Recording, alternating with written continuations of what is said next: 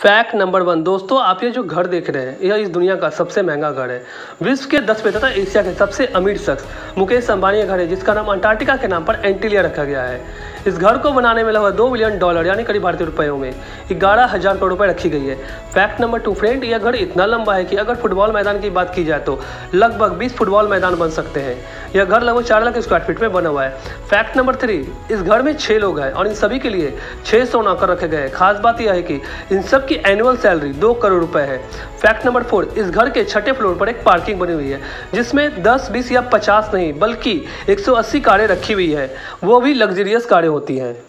Fact number five दोस्तों आपको यह जानकर हैरानी होगी कि 27 मंजिला यह घर जिसकी ऊंचाई लगभग 60 फ्लोर जितनी ऊँची है यह घर इतना बड़ा और इतना मज़बूत है कि अगर 8.8 तीव्रता का भूकंप भी आए तो इसका कुछ नहीं बिगाड़ सकता। फैक्ट नंबर सिक्स दोस्तों, इस घर की खास बात है कि यहाँ एक आर्टिफिशियल स्नो रूम है, जहाँ आपको स्विट्जरलैंड और शिमला जैसी बर्फें मिलेंगी, जहाँ का तापमान लगभग माइनस बारह डिग्री सेल्सियस होता है, जहाँ आपको बर्फीली वादियों का एहसास होता है।